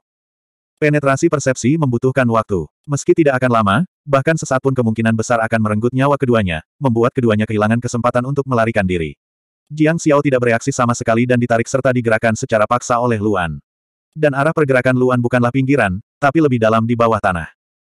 Luan melakukan ini secara alami karena aman di bawah tanah. Musuh yang begitu kuat, baik meninggalkan tanah atau melarikan diri di kedalaman yang sama, akan menghadapi bahaya besar. Hanya dengan melarikan diri ke bawah tanah dan menjadikan tanah sebagai pertahanan alami bagi keduanya barulah mereka dapat bertahan hidup. Pencari bintang sangat besar. Bahkan jika itu bisa dihancurkan oleh ahli tingkat surga, itu juga akan memakan waktu yang sangat lama. Selama keduanya bergegas cukup dalam ke bawah tanah, ruang akan menjadi stabil, dan mereka dapat melarikan diri melalui susunan teleportasi. Adapun empat penjaga, Luan tahu bahwa keempat penjaga itu sangat kuat, tapi dia tidak akan mempercayakan harapannya untuk bertahan hidup kepada orang lain. Keduanya dengan cepat turun, dan di saat yang sama, serangan itu muncul lagi seperti yang diharapkan. Gemuruh. Serangan putaran kedua jatuh dari langit, segera menyebabkan Luan dan Jiang Xiao memuntahkan darah lagi. Untungnya, ada lapisan tanah keras yang tebal di atas mereka berdua, namun kekuatan dahsyat yang datang dari atas serta benturan dan tekanan yang kuat menyebabkan mereka berdua terluka lagi, langsung berubah menjadi luka serius. Tekanan batu tersebut segera merusak tubuh Luan di banyak tempat, menyebabkan darah mengalir deras. Dan kondisi Jiang Xiao tidak jauh lebih baik, dengan banyak luka di tubuhnya. Namun berbeda dengan sebelumnya, mental mereka sudah siap. Selain itu, Luan telah melepaskan pertahanan di sekujur tubuhnya. Sekalipun mereka diserang, mereka tidak setakut sebelumnya. Sosok Luan bahkan tidak berhenti. Bahkan jika mereka terkena, mereka masih bergegas turun bersama Jiang Xiao. Di sisi lain, dua penjaga keluarga Ning dengan cepat menemukan Ning Ji dan segera datang ke sisinya. Meskipun serangannya kuat, bahkan jika keduanya tidak siap, setelah labirin tingkat surga memblokir sebagian besar kekuatan, kekuatan yang tersisa tidak menyebabkan banyak kerusakan pada mereka. Tapi Ning Ji berbeda, Ning Ji terluka. Salah satu penjaga segera melepaskan kekuatan untuk melindungi Ningji dan dirinya sendiri, sehingga ketika serangan putaran kedua jatuh, mereka tidak terluka lagi. Adapun dua penjaga keluarga Jiang. Satu dengan cepat pergi ke sisi Ningji, sementara yang lain dengan cepat mencari Jiang Xiao. Ledakan putaran kedua memaksa Ningji kembali sadar, dan dia segera berteriak kepada penjaga di sampingnya, di mana Jiang Xiao. Selamatkan Jiang Xiao. Penjaga keluarga Ning lainnya segera berbalik dan segera turun untuk mencari Jiang Xiao. Bagaimanapun juga, penjaga keluarga Ning dan keluarga Jiang jauh lebih kuat dari Luan. Kecepatan indera mereka sangat cepat, dan mereka dengan cepat menemukan Jiang Xiao dan Luan, yang melarikan diri ke bawah tanah dengan sekuat tenaga, dan dengan cepat bergegas ke sisi mereka. Luan punya cara untuk menyelamatkan nyawanya, tapi mereka berdua juga punya cara untuk menyelamatkan nyawa mereka. Keduanya segera menghentikan Jiang Xiao dan Luan. Melihat Jiang Xiao yang terluka, penjaga keluarga Jiang segera bertindak, melindunginya dengan pertahanan mereka. Adapun Luan, tidak ada yang peduli. 4018. Jiang Xiao secara alami melihat bahwa para penjaga tidak melindungi Luan, dan buru-buru berteriak, dan Cusing. Mendengar ini, para penjaga Jiang memperluas pertahanan mereka untuk melindungi Cusing juga. Lagi pula, penambahan area tidak akan menghabiskan terlalu banyak energi. Setelah Luan memasuki mode pertahanan, lukanya tidak kunjung membaik. Ini tentu saja bukan karena pil obat yang diminumnya tidak berguna, tetapi karena dia sengaja menjaga luka luarnya, tidak membiarkannya menjadi lebih baik. Alasannya sangat sederhana. Dia tidak bisa membiarkan lukanya sembuh, atau kelainan warna kulitnya akan segera diketahui. Luan tidak hanya tidak bisa membiarkan lukanya sembuh, dia juga tidak bisa membiarkan orang lain menyadari bahwa lukanya tidak kunjung sembuh. Dia mengambil inisiatif untuk berbicara, dan dengan cepat bertanya kepada penjaga Ning dan Jiang, apa yang terjadi. Sekarang perhatian semua orang tertuju pada kelainan tersebut, kedua penjaga itu sama sekali tidak peduli dengan luka Luan, dan mereka juga tidak menjawab pertanyaan Luan. Sebaliknya, mereka segera terbang bersama Jiang Xiao dan Luan, dan dengan cepat terbang ke sisi Ningji untuk bertemu dengan dua penjaga lainnya. Saat ini, Ningji telah meminum pil obat, dan luka-lukanya, yang tidak serius, pulih dengan cepat. Saat Ningji melihat istrinya terluka, hatinya serasa ditusuk pisau. Dia buru-buru meraih tangan Jiang Xiao dan memeluknya. Namun, Ningji juga tahu betul bahwa sekarang bukanlah waktunya untuk menyia-nyiakan kekhawatiran. Yang terpenting adalah segera mencari tahu apa yang terjadi dan meninggalkan tempat ini secepat mungkin. Dia segera berkata kepada kedua pengawalnya, pikirkan cara. Tanpa perlu Ningji mengatakan apa pun, kedua penjaga itu tahu apa yang harus dilakukan. Apa pun yang terjadi, hal pertama yang harus dilakukan adalah mencari tahu apa yang terjadi. Karena itu, kedua penjaga itu segera berkata kepada kedua penjaga Jiang, lindungi tuan muda dengan baik.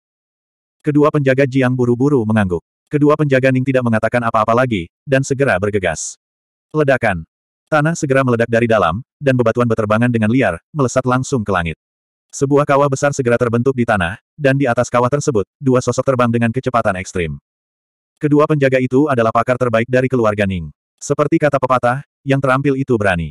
Bahkan dalam menghadapi situasi yang tidak terduga seperti itu, keduanya masih memiliki kepercayaan diri yang cukup. Kecuali mereka bertemu dengan ahli panggung Raja Surgawi, mereka berdua pasti tidak akan takut pada musuh mana pun. Dan jika ahli panggung Raja Surgawi menyerang, ketujuh orang tadi pasti sudah lama mati, dan bukan giliran mereka untuk bergegas keluar sekarang. Namun, suara mendesing. Setelah bergegas keluar dari tanah, kedua penjaga itu tercengang. Tidak hanya kedua penjaga itu yang tercengang, bahkan lima orang di dalam lubang yang dalam pun tercengang. Karena setelah kedua penjaga itu menerobos tanah di atas mereka, mereka langsung bisa melihat dengan jelas pemandangan di atas mereka. Lautan api. Lautan api berwarna merah tua. Api yang berkobar melanda seluruh kota dan menyebar jauh dan luas. Berdiri tinggi di langit, seolah-olah yang terlihat hanyalah lautan api. Suhu nyala api yang mengerikan itu sangat tinggi, dan pada saat yang sama, ia memancarkan energi yang sangat beracun. Setelah melihat ini, dua penjaga dari klan Ning, dua penjaga dari klan Jiang, dan Luan segera menyadari kekuatan macam apa ini. Melampaui api racun alam semesta. Mereka berlima telah melihat api racun penghancur alam semesta dengan mata kepala mereka sendiri, dan bahkan saling bertukar serangan dengannya. Roda nasib terhebat yang dikendalikan oleh klan Hachiko.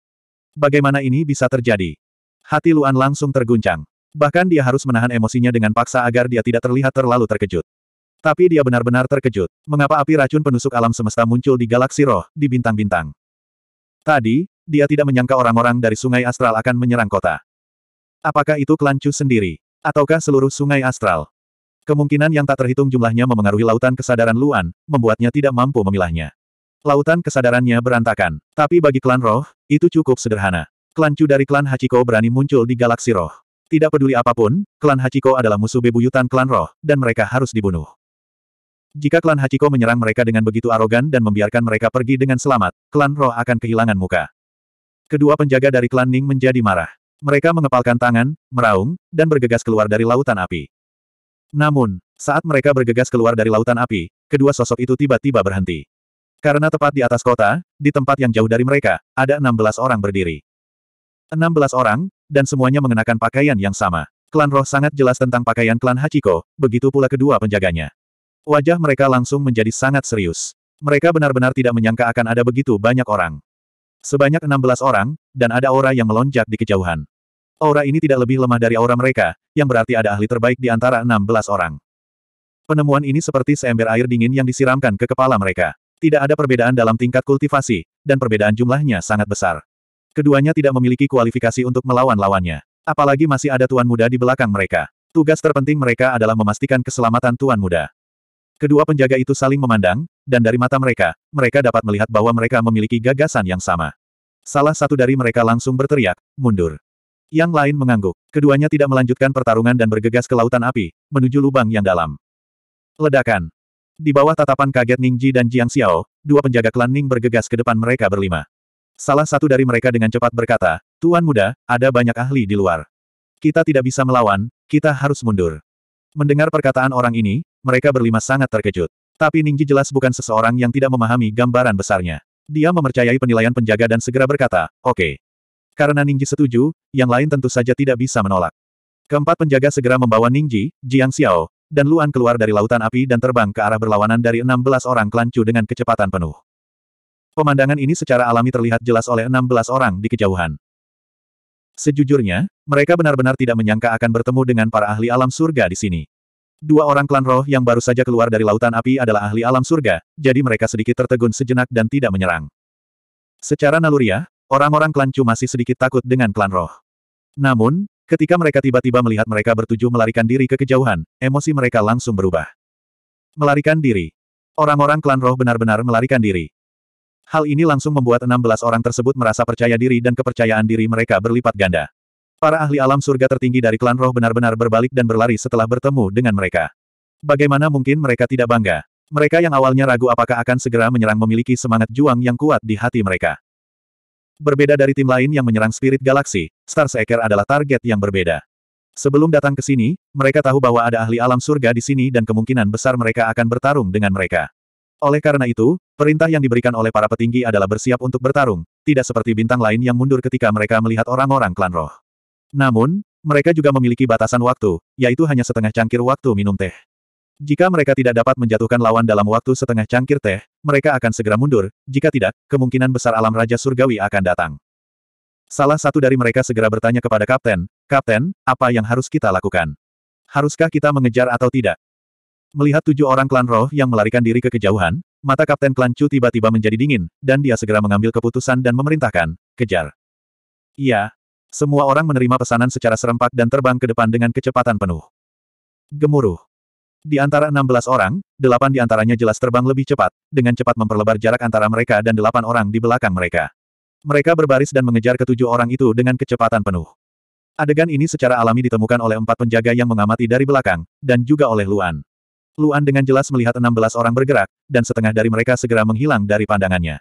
Dia tidak bisa melihat mereka sama sekali. Ini membuatnya menyadari betapa kuatnya orang-orang dari klan Chu ini. Oh tidak. Jika orang-orang klan Chu mengejar, ketujuh dari mereka tidak akan bisa melarikan diri. Begitu mereka dekat, bahkan dia tidak akan bisa melarikan diri, dan dia bahkan tidak punya waktu untuk menggunakan transfer ruang. Apa yang harus dia lakukan? Bagi Luan, masih ada kesempatan menggunakan transfer ruang untuk melarikan diri. Namun, Begitu dia melakukan itu, itu berarti identitasnya akan terungkap, dan semua usahanya sebelumnya akan sia-sia. Pada saat yang sama, itu akan mengingatkan orang-orang klan roh dan memberitahu mereka bahwa dia akan memasuki galaksi roh dengan menyamar. Namun, jika dia tidak melarikan diri, serangan ahli alam surga tertinggi terlalu kuat baginya.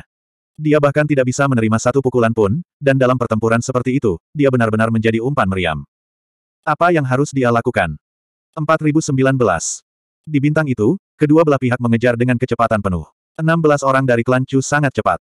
Meskipun keempat penjaga klan Ning dan klan Jiang semuanya telah memasuki alam Dewa Iblis, kedua penjaga klan Jiang memiliki mata berwarna merah darah dan kedua penjaga klan Ning memiliki pola bunga khusus di mata mereka, tapi klan Chu juga memiliki kekuatan ledakan api. Kekuatan ledakan dari delapan orang terkuat tidak jauh lebih lemah dari dua penjaga klan Ning. Yang lebih penting lagi, jarak kedua belah pihak tidak terlalu jauh. Kedelapan orang itu menyebar secara berurutan dan mengelilingi bagian depan dalam bentuk kipas agar tidak dihadang oleh empat penjaga. Begitu mereka menyebar, para penjaga hanya akan mampu memaksa beberapa dari mereka untuk berhenti jika mereka menyerang dengan paksa. Yang lain bisa segera mengejar dan memanfaatkan kelembaman untuk memblokir semuanya. Keempat penjaga juga menyadari hal ini, jadi tidak satupun dari mereka yang bergerak untuk saat ini. Tetapi meskipun mereka tidak menyerang, bukan berarti mereka bisa lolos dari kejaran kelancu, karena setengah dari delapan orang terkuat bisa menyerang. Meskipun kekuatan klan Chu tidak setinggi klan roh setelah kekuatan ledakannya, mereka pasti tidak lemah dalam hal kecepatan. Selain itu, kecepatan serangan mereka lebih cepat, sehingga mereka pasti bisa memaksa keempat penjaga untuk bertahan. Dan begitu mereka menyerang, kecepatan mereka secara alami akan berkurang, sehingga anggota klan Chu lainnya dapat segera menyusul.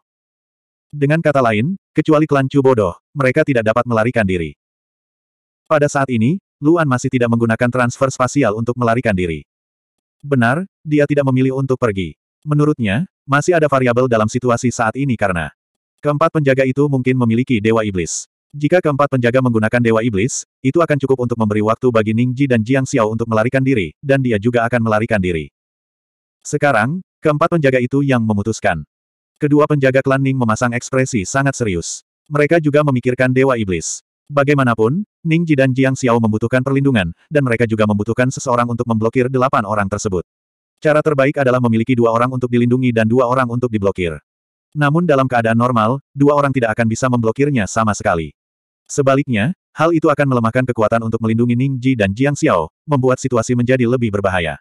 Namun, jika kedua Dewa Iblis datang untuk menghentikan mereka, mereka pasti bisa menghentikan mereka berdelapan. Setidaknya, mereka tidak akan dikalahkan oleh mereka berdelapan dalam waktu singkat. Oleh karena itu, kedua penjaga keluarga Ning segera melihat ke arah dua penjaga keluarga Jiang dan dengan cepat berkata, kalian berdua, gunakan Dewa Iblis untuk menghentikan musuh. Kami akan segera kembali untuk mendukungmu setelah kami mengirim mereka ke tempat yang aman. Begitu kata-kata ini diucapkan, kedua anggota klan Jiang gemetar, dan ekspresi mereka langsung menjadi tidak sedap dipandang. Mereka berdua sangat ingin bertanya, kenapa tidak tinggal di belakang untuk menghentikan musuh. Memang benar mereka mengenal Dewa Iblis, tapi kedua orang dari keluarga Ning ini pasti mengenal Dewa Iblis juga. Apalagi kedua orang ini lebih kuat. Selama mereka bisa menghentikan musuh dan mengawal mereka ke tempat yang aman, siapa yang tidak bisa melakukannya?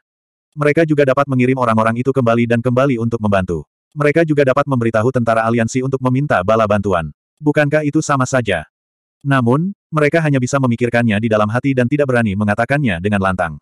Meskipun mereka semua berada di tingkat surga dan tidak ada banyak perbedaan dalam tingkat budidaya mereka, pihak lain masih merupakan klan tingkat atas, dan mereka memang tidak mampu menyinggung perasaan mereka. Mereka berdua hanya bisa mengangguk dengan ekspresi berat, dan di saat yang sama, berhenti menggunakan kekuatan mereka untuk meningkatkan kecepatan.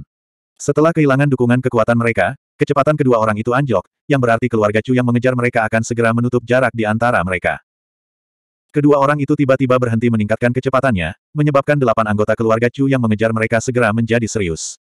Saat delapan orang itu terkejut, cahaya berwarna darah tiba-tiba menyapu dunia, dan bahkan bisa terlihat dengan jelas di alam semesta yang luas. Inti dari cahaya berwarna darah adalah kekuatan kematian yang sangat besar, dan menyapu seperti angin kencang yang menghancurkan dunia. Bumi langsung terbalik dan meledak. Dewa Setan. Delapan anggota keluarga Chu secara alami mengenali Dewa Iblis, dan ini sangat mengejutkan mereka. Dewa Iblis tidak bisa dianggap enteng. Itu setara dengan meletuskan seluruh kekuatan di tubuh mereka dalam waktu yang sangat singkat, dan letusan semacam ini jauh lebih besar daripada yang terjadi pada Dewa Iblis. Pada tingkat kultivasi yang sama, mustahil untuk melawan Dewa Iblis, dan mereka hanya bisa melarikan diri. Dan dengan kemunculan dua dewa iblis yang tiba-tiba, bahkan delapan anggota keluarga Chu tidak berani menghadapi mereka secara langsung. Namun, dewa iblis juga memiliki kelemahan yang sangat besar. Pertama, semua orang tahu bahwa durasi serangan mereka sangat singkat, dan selama Dewa Iblis bertahan dalam waktu singkat, anggota klan ras roh yang mundur dari Dewa Iblis akan menjadi anak panah di akhir penerbangan mereka, dan mereka tidak akan menjadi ancaman sama sekali. Kedua, letusan Dewa Iblis paling terlihat jelas dalam kekuatan dan pertahanan mereka, tetapi peningkatan kecepatannya tidak terlalu besar. Lagi pula, dengan tubuh yang melebihi 2000 zang, tubuh sebesar itu tidak akan bisa secepat itu bahkan jika mereka menginginkannya. Jika tidak, jika mereka meningkat dalam semua aspek, kecepatan mereka akan meningkat pesat seperti kekuatan dan pertahanan mereka, dan situasi pertempuran akan sangat tidak seimbang, dan tidak ada orang yang bertarung melawan Dewa Iblis yang bisa melarikan diri. Karena itu, ketika delapan anggota keluarga Chu melihat dua Dewa Iblis muncul, meskipun mereka terkejut, mereka tidak panik. Kapten segera memberi perintah, dan berteriak kepada semua orang, Kalian berdua menghalangi mereka, enam sisanya ikuti saya berkeliling. Segera, dua orang yang paling dekat dengan Dewa Iblis tiba-tiba melambat, dan di saat yang sama, kekuatan di tubuh mereka meletus, dan keduanya menyerang dengan seluruh kekuatan mereka. Ledakan. Lautan api yang mengerikan segera muncul, dan di dalam lautan api ada pusaran arus bawah yang kuat yang melonjak dengan hebat menuju dua Dewa Iblis. Lautan api menutupi area yang sangat luas, dan yang lebih penting, kedua Dewa Iblis tidak bisa mengelak. Begitu mereka menghindar, itu sama saja dengan membuka jalan bagi orang-orang ini. Misi mereka adalah memblokir semua orang, dan mereka hanya bisa menghadapinya secara langsung. Namun, kekuatan Dewa Iblis melampaui kekuatan ledakan apa pun, dan tentu saja, mereka tidak dapat menghadapinya secara langsung hanya dengan tubuh fisik mereka. Mengaum. Kedua Dewa Iblis meraung pada saat yang sama, dan cahaya berdarah yang sangat besar segera menyebar dari kedua Dewa Iblis, berubah menjadi lautan darah yang bahkan lebih besar dari lautan api keduanya, dan bertabrakan dengan lautan api yang datang. Kemudian, ledakan. Kekuatan kedua belah pihak bertabrakan dengan hebat, dan meskipun keduanya merupakan serangan area of effect, kekuatan ledakannya masih sangat kuat. Terlebih lagi, tanpa diragukan lagi, Dewa Iblis pasti lebih kuat. Lautan darah segera menekan lautan api, dan memaksa lautan api mundur. Namun, tabrakan serangan area of effect juga menyebabkan konsekuensi yang sangat serius, dan itu adalah kekacauan yang ekstrim. Api racun penghancur alam semesta yang sangat besar dan kekuatan kematian yang sangat besar saling terkait. Bahkan jika lautan darah menekan api racun penghancur alam semesta, tabrakan tersebut menyebabkan persepsi kedua belah pihak menjadi sangat tidak stabil, terutama di bagian tepinya. Pada saat yang sama, enam orang dari klan Chu segera mengelilingi dua dewa iblis dari kedua sisi, dan terus mengejar ke depan tanpa kedua dewa iblis menyadarinya. Serangan area of effect tidak hanya mempengaruhi bagian depan dan samping, tetapi juga bagian belakang, sehingga kedua dewa iblis tidak mengetahui bahwa enam orang telah bergegas melewati mereka. Pada saat ini, kedua dewa iblis sedang mengaum dan tidak lagi menggunakan serangan efek area. Sebaliknya, mereka bersiap untuk menyerang dengan paksa melalui lautan api, mengalahkan kedua orang ini terlebih dahulu, dan kemudian mencari masalah dengan yang lain. Namun, ledakan. Enam sosok langsung keluar dari lautan darah, dan langsung menuju kelompok lima Ningji. Sampah. Melihat ini, kedua penjaga keluarga Ning segera mengerutkan kening. Seperti yang diharapkan, klan kelas satu sama sekali tidak bisa diandalkan. Bahkan setelah bertransformasi menjadi dewa iblis, mereka masih tidak bisa menghentikan orang, jadi apa gunanya mereka? Meskipun kata-kata ini tidak dapat diucapkan di depan Jiang Xiao, ekspresi suram mereka sudah cukup untuk menjelaskan semuanya. Keenam sosok itu tidak terhalang banyak, dan mereka tidak bisa menjauh dari keenam orang itu. Jika ini terus berlanjut, cepat atau lambat mereka akan dihentikan, dan setelah dua dewa iblis di kejauhan abis, bahkan jika delapan orang dari klan Chu menyerang mereka berdua, mereka tidak akan mampu menahannya. Namun, mereka pasti tidak akan melupakan tugas mereka, dan yang lebih penting, keselamatan Tuan Muda. Mereka bisa mati, tapi Tuan Muda tidak bisa mati di sini. Mereka harus menghentikan enam orang ini, atau jika mereka berenam menyusul, tidak ada yang bisa melarikan diri. Oleh karena itu, salah satu dari mereka segera berkata kepada Ningji, Tuan Muda, kami berdua akan pergi dan menghentikan mereka. Anda harus segera kembali ke pasukan aliansi dan mengirim bala bantuan secepat mungkin. Hati Ningji bergetar. Dia sebenarnya sangat peduli pada kedua penjaga ini, dan sepenuhnya memperlakukan mereka sebagai teman. Namun, Ningji juga tahu bahwa sekarang bukanlah waktunya untuk ragu-ragu, dan tidak ada waktu untuk disia-siakan.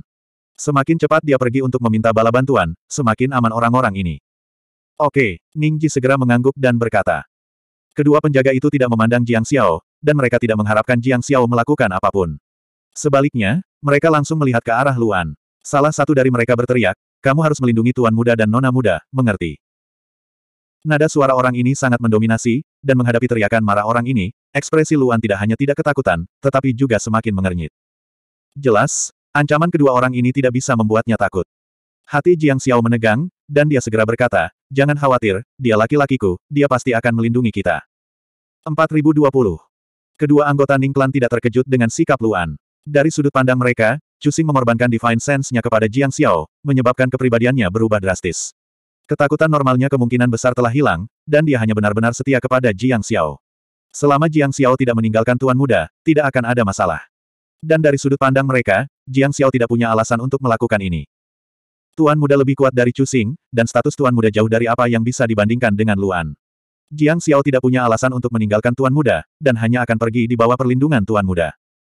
Meskipun sebagai penjaga, mereka tidak boleh meninggalkan sisi Ningji, tidak ada cara yang lebih baik sekarang. Mereka harus melakukan ini. Dan mereka tidak bisa membuang waktu, jadi ketika Jiang Xiao berbicara, keduanya segera berhenti menggunakan kekuatan mereka untuk meningkatkan kecepatan. Di saat yang sama, keduanya mendorong telapak tangan mereka dengan seluruh kekuatan mereka, menggunakan kekuatan kematian untuk mendorong ketiganya dengan paksa. Ledakan. Mereka bertiga segera meningkatkan kecepatannya, sementara dua orang dari klan Ning berhenti dengan kecepatan lebih cepat. Kecepatan mereka menurun, tetapi kekuatan kedua anggota klan Ning meledak. Bunga berwarna merah darah di mata mereka segera bertambah jumlahnya. Kemudian, cahaya merah darah yang menyilaukan meledak, seperti kelopak bunga ramping yang tak terhitung jumlahnya meledak ke segala arah. Gemuruh. Seperti aliran cahaya yang tak terhitung jumlahnya meledak di udara, kekuatan itu mengejutkan enam anggota klan Chu, dan tubuh mereka semua gemetar. Mereka berenam menatap pemandangan ini dengan mata terbelalak. Kekuatan ledakan kedua dewa iblis bahkan lebih kuat dari dua sebelumnya. Bagaimana ini bisa terjadi? Keenam anggota klan Chu terkejut, tapi yang lebih mengejutkan lagi akan datang. Setelah dua dewa iblis muncul, bunga darah khusus muncul di tubuh mereka, dan dengan hati sebagai pusatnya, bunga itu menyebar ke anggota tubuh mereka. Itu berbeda dari laut darah yang digunakan oleh dua dewa iblis. Keduanya segera mendorong telapak tangan mereka, dan kelopak tipis yang tak terhitung jumlahnya keluar, menyelimuti keenam orang itu. Laut darah tidak menakutkan, tetapi kekuatan yang belum pernah mereka lihat sebelumnya menakutkan. Bukan karena mereka berenam belum pernah bertarung dengan spirit Rache sebelumnya, tapi mereka belum pernah melihat kemampuan seperti itu. Naluri mereka menyuruh mereka untuk bermain aman, dan mereka tidak berani memaksakan diri untuk melakukan serangan seperti itu. Mereka hanya dapat mengurangi kecepatannya, dan pada saat yang sama, melepaskan api racun penghancur alam semesta untuk menahan bunga darah yang meledak, dan mencari tahu kekuatan macam apa ini. Gemuruh. Kedua dewa iblis klan Ning bentrok melawan api racun penghancur surga milik enam orang. Dalam bentrokan pertama ini, kedua ahli Ning Clan sebenarnya tidak berada dalam posisi yang tidak menguntungkan. Sungguh kekuatan yang luar biasa. Enam orang klan Chu segera menghirup udara dingin, dan ekspresi mereka berubah drastis. Letusan cahaya berdarah itu tipis dan panjang. Mereka berpikir bahwa itu tidak akan memiliki banyak kekuatan, namun kegigihan di dalamnya jauh melampaui harapan mereka. Jika seseorang menggunakan atribut kayu dari sungai bintang surgawi untuk memahami bunga berwarna darah ini, dia salah total. Ini sama sekali bukan jenis kekuatan. Ini adalah kekuatan kematian yang murni. Bunga berwarna darah yang terlihat seperti bunga bukanlah bunga asli, tapi kekuatan yang sangat berbeda dan lebih dalam. Ada semacam kekuatan penghancur dalam kekuatan kematian ini. Seolah-olah itu telah dengan kuat menenangkan api racun penghancur alam semesta yang kejam dari enam orang. Efeknya jauh melebihi kekuatan kematian normal. Itu bahkan sebagian besar sebanding dengan teknik setengah roh. Bagaimanapun, kedua dewa iblis tidak sengaja menggunakan teknik roh apa pun. Enam orang klancu segera merasakan tekanan yang sangat besar, tetapi yang terjadi selanjutnya adalah ekstasi yang sangat besar. Mereka berempat semuanya berubah menjadi dewa iblis. Selama mereka bisa menghentikannya, tidak akan lama sebelum mereka berempat menjadi anak panah di akhir penerbangan mereka. Mereka akan bergantung pada belas kasihan mereka. Membunuh empat ahli spirit race pada level ini jelas merupakan suatu prestasi besar bagi mereka. Terlebih lagi, itu akan menjadi pahala yang besar jika bisa mengguncang klan Hachiko dan tentara sekutu. Terutama karena mereka belum pernah melihat Dewa Iblis seperti itu sebelumnya. Mereka bahkan tidak memiliki informasi apa pun tentang Dewa Iblis tersebut. Kemungkinan besar identitas kedua orang ini sangat luar biasa. Para petinggi telah memberi mereka waktu setengah cangkir teh, dan keempat dewa iblis ini pasti tidak akan mampu bertahan selama itu. Selama bala bantuan tidak datang, mereka pasti akan menang. Masalahnya sekarang adalah tiga orang yang diusir paksa oleh kedua orang ini. Selama mereka menghentikan ketiga orang ini, tidak ada yang bisa pergi untuk melaporkan situasinya, dan tidak ada yang bisa meminta bala bantuan. Yang membuat keenam orang itu semakin terkejut adalah ketiga orang ini tidak terlalu kuat. Mereka bahkan tidak perlu bergerak. Delapan orang sisanya cukup untuk menangkap ketiga orang tersebut. Dengan kata lain, selama delapan orang terkuat mereka mengendalikan empat dewa iblis dan bertarung bersama mereka, mereka pasti akan memenangkan pertempuran ini. Sambil memastikan keselamatanmu sendiri, gunakan seluruh kekuatanmu untuk membatasi dewa iblis. Kapten Klan Chu tiba-tiba meraung. Pada saat yang sama, dia berteriak pada delapan orang yang bergegas dengan kecepatan penuh, kalian pergi dan hentikan ketiganya. Anda tidak boleh membiarkan mereka melarikan diri. Iya. Delapan orang Klan Chu segera mengelilingi mereka dan bergegas maju dengan kecepatan penuh. Kedua Dewa Iblis Klan Ning secara alami menyadari niat delapan orang dan segera bergerak untuk menyerang mereka. Meskipun delapan orang itu sengaja mengitari mereka, itu tidak cukup jauh untuk dua Dewa Iblis yang kuat. Namun, masalahnya adalah kedua Dewa Iblis tidak berani menghalangi mereka. Jika keduanya memblokirnya, enam orang di sekitar mereka akan dibebaskan. Salah satu dari enam orang ini merupakan ancaman yang lebih besar daripada gabungan delapan orang di kejauhan. Bagi Ningji dan dua lainnya, delapan orang di kejauhan masih memiliki kemampuan untuk bertarung, tetapi tidak ada kemungkinan untuk melawan siapa pun di sini. Oleh karena itu, dua Dewa Iblis klan Ning hanya bisa menyaksikan delapan orang klan Chu lainnya bergegas maju dengan kecepatan penuh. Dari kecepatan delapan orang ini, ada orang yang kuat dan lemah, tapi yang terkuat hanya sedikit lebih kuat dari Tuan Muda. Itu tidak sampai pada titik di mana dia tidak bisa bertarung sama sekali. Dan yang lemah bahkan lebih lemah dari Chu Xing. Dengan cara ini, Chu Xing juga bisa bertarung sampai batas tertentu.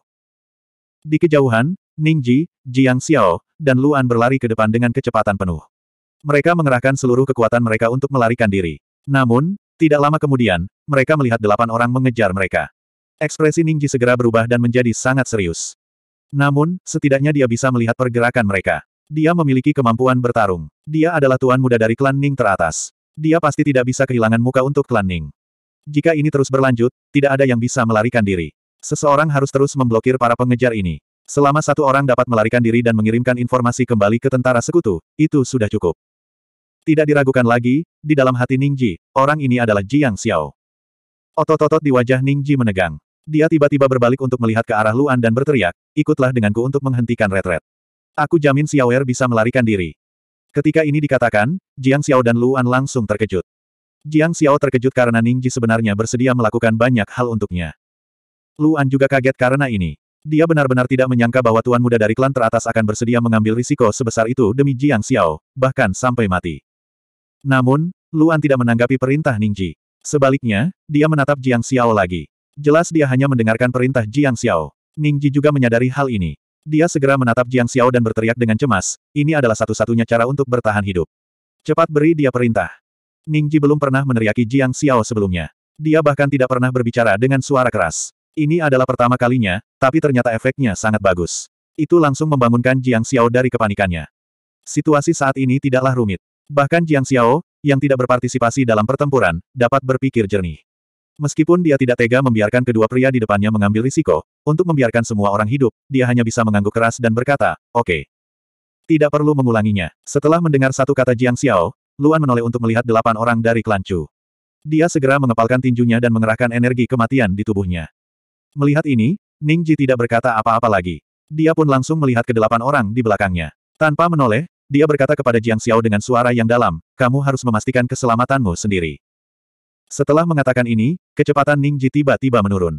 Di saat yang sama, kecepatan Luan juga tiba-tiba menurun.